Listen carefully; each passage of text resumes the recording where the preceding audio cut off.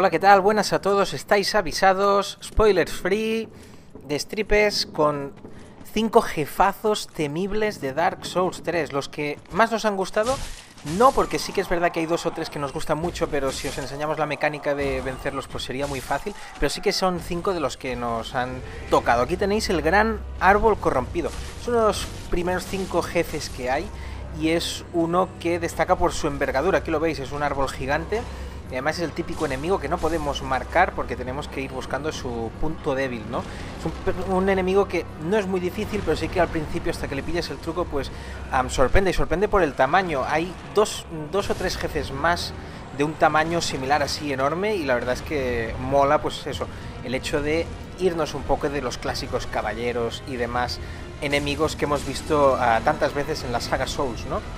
Es uno de los primeros uh, jefes temibles que nos encontramos. Pero el primer jefe duro, duro de verdad es Vigilantes del Abismo. Uno de los objetivos que tenemos. Y aquí lo estáis viendo. Una lucha complicada, sobre todo porque, como vais a ver ahora, además de luchar contra, contra este vigilante, aparece otro.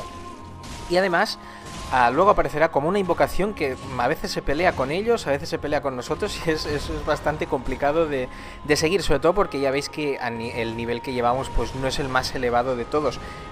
A todo esto, añadirle una segunda fase y estáis viendo cómo se están matando entre ellos, pero si nosotros intentamos aprovechar, todavía pillaremos. A todo esto se añade una segunda fase, que ya vais a ver uh, cuando juguéis, que lo hace todavía más complicado de vencer. Uh, aquí nos encallamos lo suyo y fue el primer jefe que dijimos, eh, dejadme avanzar, por favor.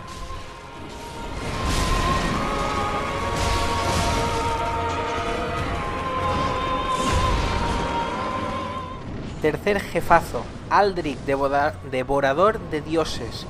Personaje raro, ya lo estáis viendo, monstruoso. Aquí hay reminiscencias de Bloodborne sin duda. Es un personaje que tiene muchos patrones y que molesta tanto a corta como a larga distancia.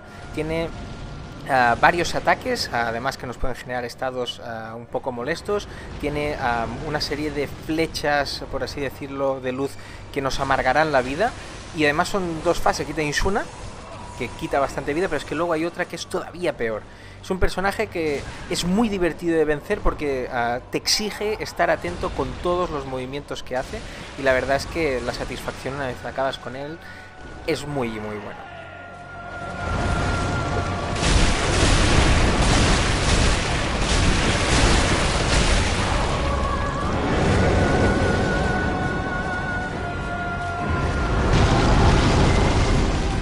A otro de los grandes jefazos el Rey de las Tormentas. Um, seguramente lo habéis visto porque ha salido en bastantes GIF y vídeos, pero es, un, es un, una batalla con un jefe muy dura, de las más duras um, que hemos tenido, y a pesar de ir pues con, bastante nivel, porque bueno, uh, ya lo veréis.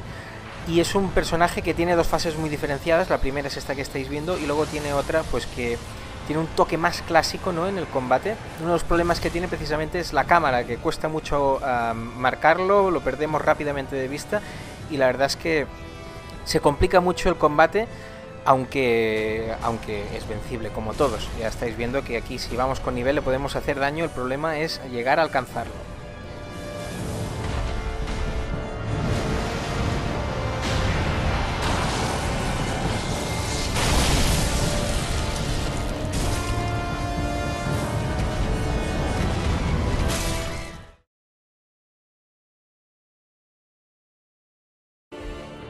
Y por último, Alma Ceniza, el gran jefe final del juego. Estos sí que son spoilers, así que ya habíamos avisado al principio.